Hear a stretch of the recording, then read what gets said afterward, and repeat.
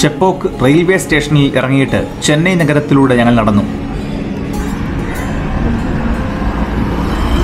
ഞങ്ങൾ പോകുന്നത് അവിടുത്തെ ഏറ്റവും പ്രശസ്തമായ ഒരു ബീച്ചിലേക്കാണ് മറീന ബീച്ച്. ഹലോ ഫ്രണ്ട്സ് എല്ലാവർക്കും രമേഷ് ആൻഡ് സുരേഷ് വ്ളോഗ്സിന്റെ പുതിയൊരു വീഡിയോയിലേക്ക് ഹൃദയംഗമായ സ്വാഗതം. ഇത് ചെന്നൈ യാത്രയുടെ എട്ടാമത്തെ വീഡിയോ ആണ് ഇതിനു മുമ്പുള്ള വീഡിയോസ് നിങ്ങൾ കണ്ടിട്ടില്ലെങ്കിൽ തീർച്ചയായും അത് പോയി കാണുക.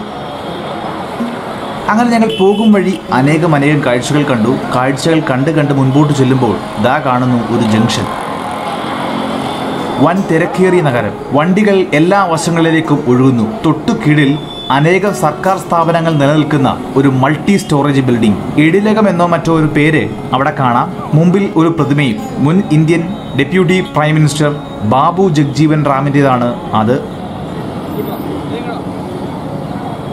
ഭീമാകരമായ ക്ലാസിക്കൽ ഡിസൈനിൽ തലമുക്കി നിൽക്കുന്ന കെട്ടിടങ്ങൾ. അത് മദ്രാസ് യൂണിവേഴ്സിറ്റി കെട്ടിടങ്ങളാണ്. ക്ലോക്ക് ടവറും പാർക്കുകളും ഒക്കെ നിലകൊള്ളുന്ന യൂണിവേഴ്സിറ്റിയുടെ കണ്ണത്താ ദൂരത്ത് നീണ്ടുകിടക്കുന്ന വലിയ ഏരിയയാണിത്.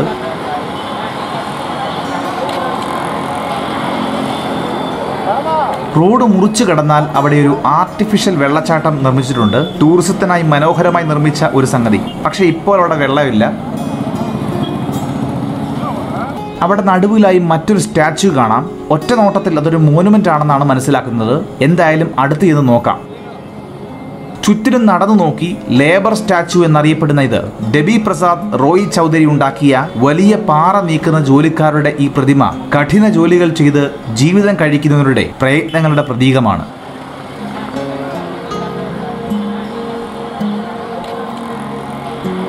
അവിടെ റോഡ് മുറിച്ചു കടക്കാൻ സബ്വേ ഉള്ളതാണ്. പക്ഷേ പിന്നീടാണ് അത് ഞങ്ങളുടെ ശ്രദ്ധയിൽപ്പെട്ടത്. പിന്നെയും കാഴ്ചകൾ ഒത്തിരി ഒത്തിരി കണ്ടു. സമയം സന്ധ്യയോട് അടുക്കുന്നതിനാൽ ഇരുട്ടായി തുടങ്ങിയിട്ടുണ്ട്. കടൽ തീരം കാണാൻ എത്തുന്ന ടൂറിസ്റ്റുകളെ ലക്ഷ്യമാക്കി നിരത്തിയിരിക്കുന്ന പലതരത്തിലുള്ള കച്ചവട സ്ഥാപനങ്ങൾ എല്ലായിടവും ആളുകൾ തിങ്ങി തിങ്ങി നടക്കുവാണ്. ഫ്രൂട്ട്സും ചിപ്സും ടോയ്സും ബലൂൺസും എല്ലാമുണ്ട്. പത കൊണ്ട് വലിയ കുമിളകൾ ഉണ്ടാക്കുന്ന ചേട്ടനുമുണ്ട്.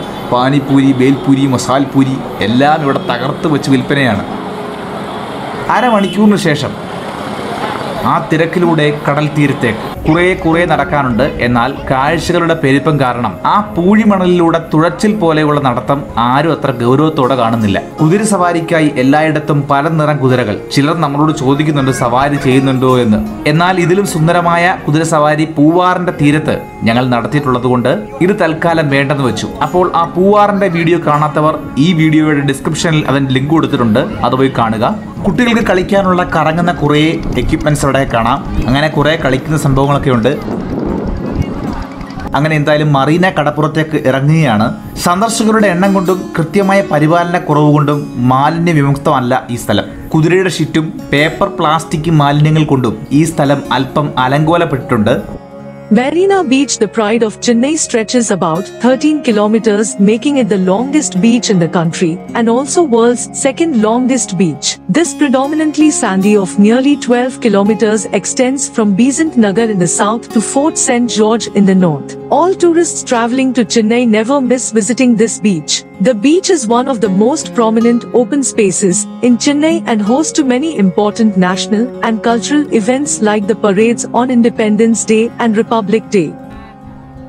സ്വദേശികളും വിദേശികളുമായ അനേകർ ഈ സ്ഥലത്തേക്ക് ഒഴുകി എത്തിക്കൊണ്ടിരിക്കുകയാണ് കടൽ തീരത്തെത്തിയപ്പോൾ മണൽത്തരി പോലെ നിറഞ്ഞ സന്ദർശകർ പല പ്രായങ്ങളിൽപ്പെട്ടവർ ചെറു കുട്ടികൾ മുതൽ പ്രായമായവർ വരെ എന്നാൽ എല്ലാവരും ഒരു ചില്ലിംഗ് വൈബിലാണ് തീരത്ത് തഴുകുന്ന കടൽ തിരമാലകളെ കണ്ടു മടങ്ങാൻ മാത്രമല്ല അവയിൽ ഇറങ്ങി കളിച്ചു കയറാൻ വേണ്ടിയാണ് എല്ലാവരും നിൽക്കുന്നത് അവരെ നിയന്ത്രിക്കാനാകട്ടെ ചുവന്ന കുതിരപ്പുറത്ത് പോലീസുകാരും.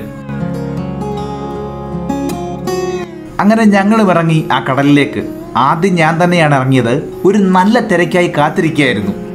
കേരളത്തിലെ കൊല്ലം തീരം പോലൊന്നും ഇത് അക്രമസക്തമല്ല. അതുകൊണ്ട് പേടിക്കേണ്ട കാര്യമൊന്നുമില്ല. അങ്ങനെ ആ തിരയിലൊന്ന് കാൽ നനച്ചതിന്റെ ഒരു പ്രത്യേക ആത്മസംതൃപ്തി. ആഹാ.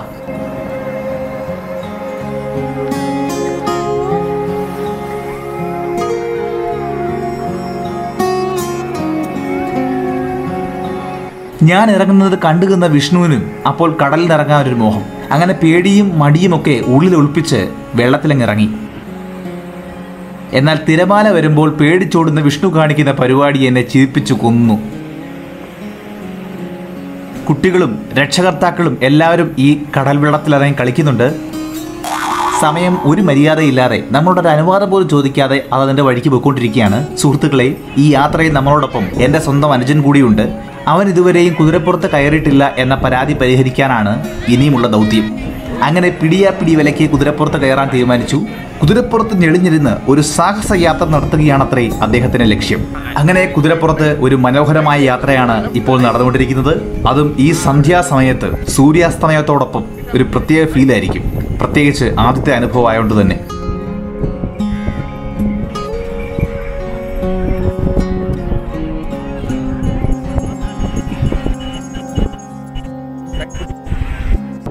ഞങ്ങൾ തിരിഞ്ഞു നോക്കിയപ്പോഴേക്കും അവിടെ മുഴുവൻ ബൾബുകൾ കൊണ്ട് നിറഞ്ഞിരിക്കുന്നു. ഞങ്ങൾ നടന്ന അത്രയും ദൂരവും നിറയെ കടകളാണ് മുഴുവൻ ലൈറ്റുകളും. എല്ലാം കൂടെ ഒരു ഗംഭീര കാഴ്ച തന്നെ. സമയം ഇത്ര വൈകിട്ടും ആളുകൾക്ക് ഒരു കുറവുമില്ല. മീൻ വറുത്ത് വിൽക്കുന്ന സ്റ്റാളുകൾ കുട്ടികളുടെ കളിപ്പാട്ടുകളും ബൊമ്മകളും ഒക്കെ വിൽക്കുന്ന കടകൾ കരിമ്പിൻ ജ്യൂസ് ഉണ്ടാക്കി വിൽക്കുന്ന കടകൾ അങ്ങനെ വ്യത്യസ്ത ഇനം ജ്യൂസുകൾ ഫ്രൂട്ട്സുകൾ അതുപോലെ കരകൗശല വസ്തുക്കൾ ശംഖ് തുടങ്ങി അങ്ങനെ ചെറുതും വലുതുമായ അനേകം കടകൾ ഇവിടെ നിരന്ന് കിടപ്പുണ്ട്. പിന്നെ ഇച്ചിരി മുമ്പ് ഒരു അരമണിക്കൂർ പറഞ്ഞില്ലേ? അപ്പോൾ ഞങ്ങൾ എവിടെയാണെന്ന് അറിയണ്ടേ? എങ്കിൽ സ്വല്പം പുറകോട്ട് പോവാം. കടലിലോട്ട് തിരിയുന്ന വാതിലിന്റെ തൊട്ടപ്പുറത്തായി ഒരു വലിയ ആർച്ച്. നടുക്ക് ചിറക് വിടർത്തി നിൽക്കുന്ന ഒരു സ്വർണ കുതിര. സ്വർണമല്ല കേട്ടോ ബ്രോൺസിൽ തീർത്ത ഗ്രീക്ക് മിത്തോളജിയിൽപ്പെട്ട പെഗാസസ് എന്നറിയപ്പെടുന്ന പ്രതിമ.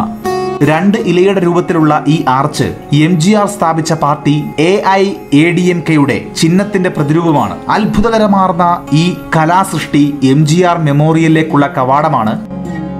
വളരെ ബൃഹത്തായി പണി കഴിപ്പിച്ചിരിക്കുന്ന ആ സ്ഥലത്തേക്ക് ഞങ്ങൾ നടക്കുകയാണ്. ശരിക്കും ഇത് മറീന ബീച്ചിന്റെ സൗന്ദര്യം ഒരുപാട് വർദ്ധിപ്പിക്കുന്നുണ്ട്.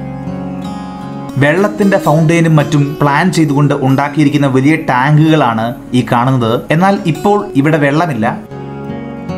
ഇലച്ചെടികളും പൂച്ചെടികളും കൊണ്ട് അലങ്കരിച്ചിരിക്കുന്ന എട്ട് ദശാംശം രണ്ട് അഞ്ച് ഏക്കർ സ്ഥലത്ത് നിർമ്മിച്ചിരിക്കുന്ന ഒരു മനോഹരമായ സ്ഥലം. ബ്രഹ്മാണ്ഡമെന്ന് വേണേ പറയാം.